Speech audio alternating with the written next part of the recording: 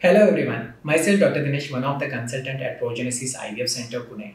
Today we are going to talk about ovulatory dysfunction. Before understanding this topic, why it is important, every ovulation has been followed by a process of fertilization and then only your dream of becoming a parent will be turning into the reality. So let's understand this ovulation in detail. Let's talk about menstrual cycle first of all. Your menstrual cycle is divided into three parts. The first part is called as follicular phase. It starts once you get your menses. After that, your follicles start increasing in the size. One follicle become a dominant that is called as dominant follicle and that dominant follicle get mature and get rupture. The process of rupture is called as ovulation and once it is ovulated, that egg will be captured by a fallopian tube once the egg is inside the tube, the viability is for 12 to 24 hours.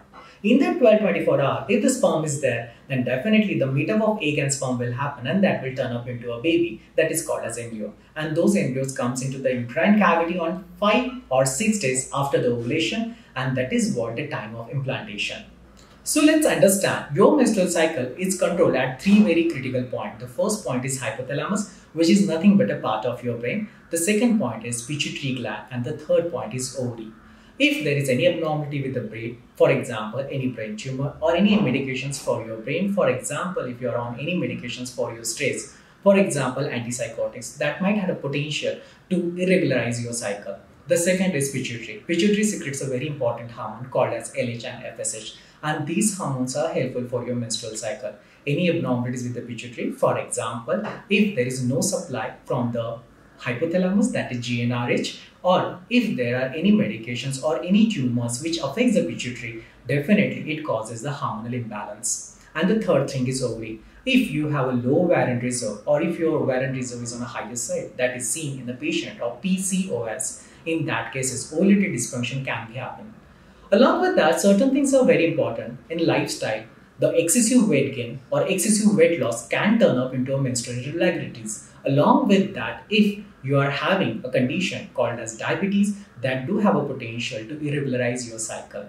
So understand these things are very very important before you embark on the path of pregnancy. So how to get corrected your menstrual irregularities?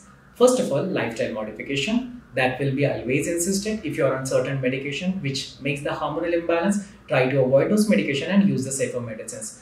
To induce the ovulation there are certain medicines called as ovulation induction agents in the form of tablets and injections are available.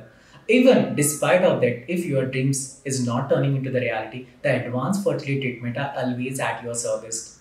Believe me the reproduction of mankind is a great marvel and mystery. Try to understand and solve it. The dreams is all yours and the reality will be tomorrow.